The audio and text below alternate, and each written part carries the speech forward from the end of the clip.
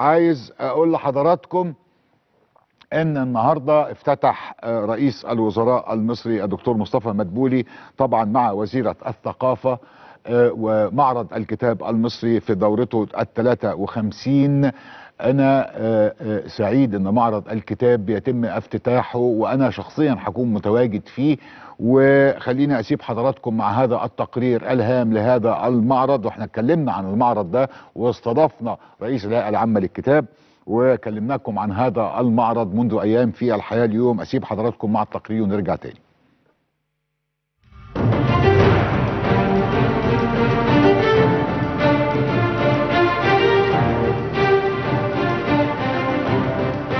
تحت شعار هوية مصر الثقافة وسؤال المستقبل. انطلق الحدث الثقافي الأبرز في مصر والوطن العربي معرض القاهرة الدولي للكتاب بدورته الثالثة والخمسين.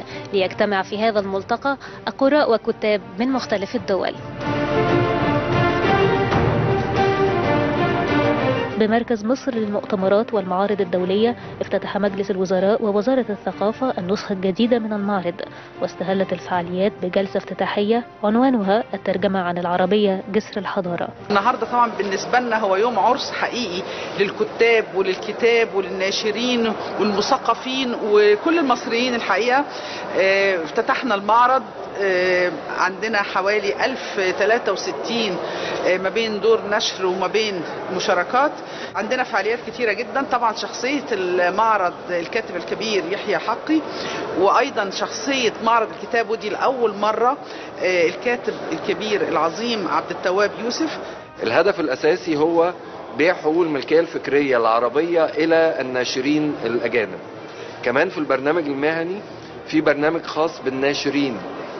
ودي مجموعة ورش نظمناها للناشرين الشباب علشان يقدروا يعني يبقى عندهم فكرة منهجية عن إدارة مشروعات النشر. هذه النسخة تأتي بمشاركة 1063 ناشرا مصريا وعربيا وأجنبيا وتوكيلا من 51 دولة وتحل اليونان ضيف شرف الدورة.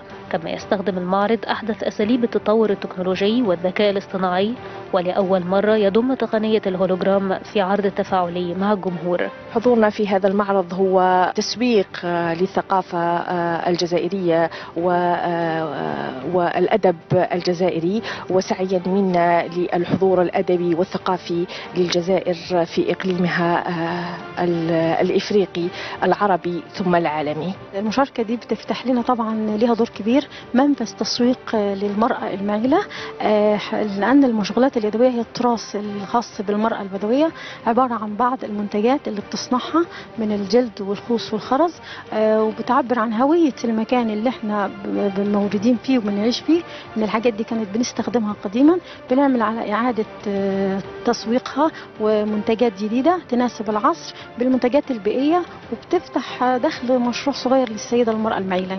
المعرض يفتح أبوابه للجمهور غدا في السابع والعشرين من يناير ومن المقرر أن تستمر الفعاليات حتى السابع من فبراير المقبل.